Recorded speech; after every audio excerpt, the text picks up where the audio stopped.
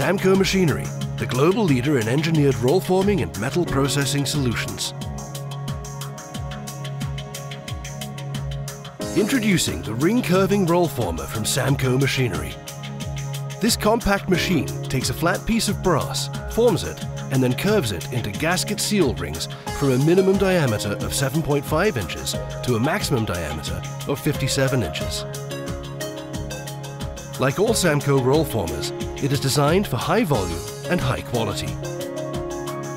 It can run 1 32nds of an inch thick material with a web width of 1 8th of an inch and a flange height of 0.156 inches to 0.219 inches at a maximum line speed of 20 feet per minute. It uses a production reliable, customer supplied coil reel to store stock material and supply it to the system as required. The entry table with pass line rolls and an intermediate edge guide system directs and aligns stock material. The robust four-station single-gear mill roll former with variable speed drive and VFD motor system forms the brass ring.